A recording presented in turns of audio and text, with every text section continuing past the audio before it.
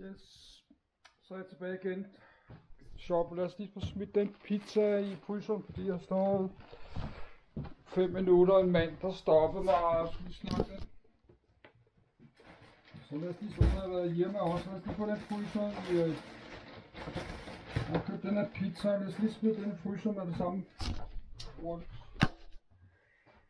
Så jeg kan gå rundt helt og se sådan en stod op. Skal du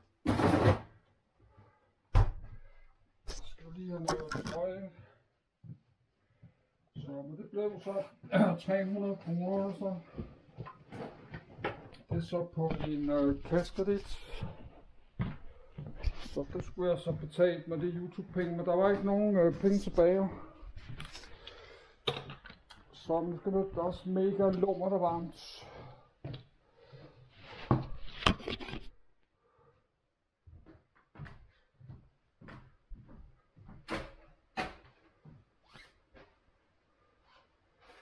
Jeg fik smidt det der, smidt det der tomatsovs ud.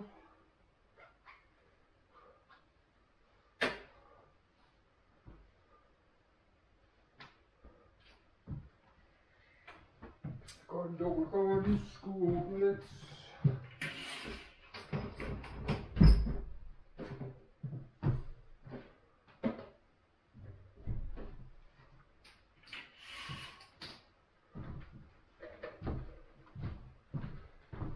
Så det blev så 300 kroner. Jeg har bongerne her på at være i Netto og lige på tre steder.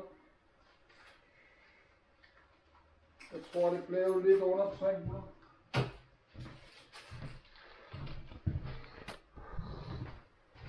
Så du så 130, 130 liter, og så i Netto. Jeg ikke huske, hvad det blev. Så hjemme blev der også købt jeg kaffe der til den gamle mor. Det var 61 kroner for en kaffe. Og så to, to for 120. Så har jeg også købt sådan en ekstra tawai der til 40 kroner. til næste måned der.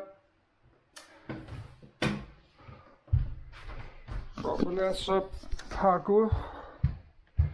Men altså, jeg skal også, der er jo lang tid til onsdag morgen, det er så kun torsdag nu. Der er både torsdag, fredag, lørdag, søndag, mandag, tirsdag. Der er altså mange dage.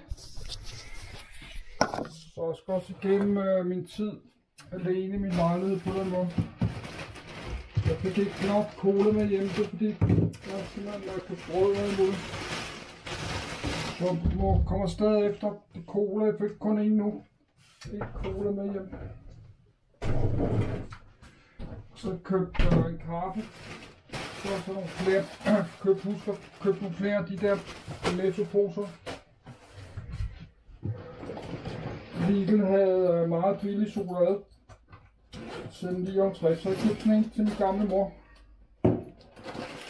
Og popcorn også hjemme. Klikmix, brød, pizzastyk, chokolade.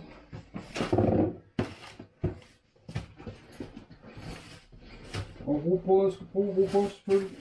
Det er det, jeg glemmer at købe hele tiden, ja. Der var noget nedsat rugbrød med, så bare købt det, der holder så længst tid. Det jeg tænkt mig at smide øh, i fryseren. Så det er sådan en uh, 59 til min gamle mor. Og 61. Min mor er snart 80, så øh, det er sådan begrænset, hvor mange gange øh, vi kommer sådan til at se slutningen af par år. Så mit liv står jo mega stille. Mit liv står jo 100% stille. Så jeg kan ikke bare gå og, og vente på, at der sker forbedring i mit liv øh, to år eller sådan Fordi så det er ikke sikkert, at min mor er her om to-tre år. Så jeg er nødt til at bruge nogle, øh, til at bruge nogle penge på min gamle mor. Så køber jeg noget chokolade og kaffe en gang imellem. Chokolade og kaffe, og så et par hundrede kroner til øh, benzin en gang imellem. Tænker, at ikke, vi skal smide det der, der er så varmt. Smid den i køleskabet, fordi det er så varmt og lunger i min lejlighed altid. Smider den lige i køleskabet her. Der er nærmest 30 grader i min lejlighed altid. Og kaffe. Og så har købt øh, popcorn til mig selv her. Jeg får de der clipmix til at lave pinse. er hjemme er åben pinsen. Køb sådan ekstra til mig. Så, så der har jeg så øh, og til mig til juni. Så jeg købt en masse brød. Lad os lige, øh, den her pizza, den skal spises nu. Og øh, sådan en øh, TPS, lad os lige putte det til side noget, og, og bollen skal også spises i dag. Købte sådan en fladbrød, 9 kroner, det kostede 7 kroner, ikke så lang tid siden, nej 8 kroner så. Det kan sagtens spise, man river bare et stykke af og spiser. Så skal jeg have de der boller på sådan her.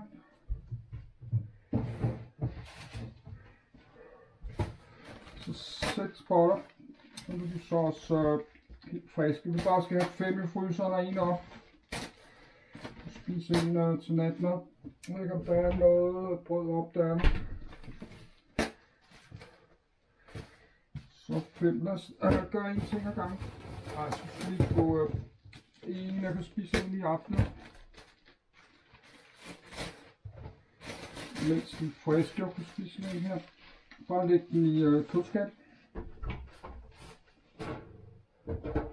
Der er, der er prøvet, prøvet i køleskabet. Der er en hel pakke øh, uh, robrød faktisk. Det hele skal i fryseren. Der er et pakke uh, rugbrød her. Og mere robrød her. Og brød og sådan noget. Så svidt. Øh, men lad os gøre en ting ad gangen. Så jeg kan også stå og, og gøre det, mens jeg spiser det der. Så lave en ny video.